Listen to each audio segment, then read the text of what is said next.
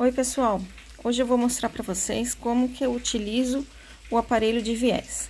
Aqui eu tenho esse aparelho, é aparelho industrial, ele vem com dois parafusinhos.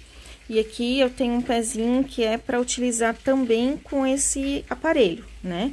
Caso você não tenha esse pezinho, pode usar o guia magnético, né? Que daí vai deixar retinho aqui o tecido, tá? Então, é, eu alinhei a ponta do aparelho com o pezinho do calcador, né?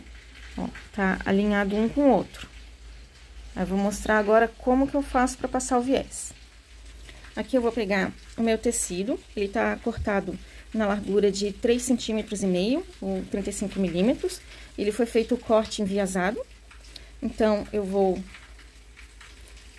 passar ele por aqui. E vai aqui dentro. Aí, aqui você utiliza alguma coisa pra puxar, né? Uma ferramenta pra puxar.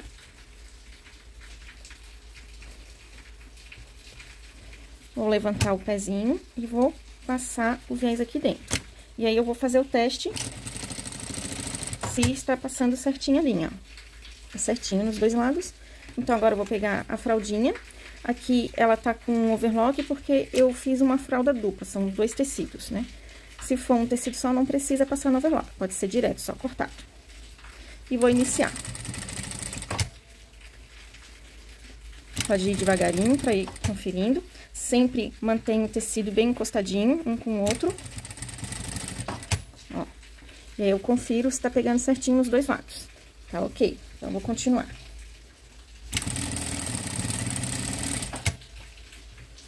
Como o meu tecido, ele faz a voltinha, ó, sempre cuidando pra empurrar, senão o ponto vai escapar. Pra finalizar, essa fraldinha, ela tem três pontas arredondadas e a primeira eu fiz retinha, pra eu fazer o prendedor de chupeta. Então, essa aqui que é retinha, eu vou cortar aqui o excesso de tecido do viés e vou continuar a costura. Aqui eu coloco bem certinho ali dentro. E aí, eu vou passar o viés além do que é. Aqui eu fiz uma medida a mais, ó. Agora, eu encerro e corto o tecido. Tá pronto o meu viés, ficou bem certinho, ó, dos dois lados, né? E agora é só colocar o prendedor pra chupeta.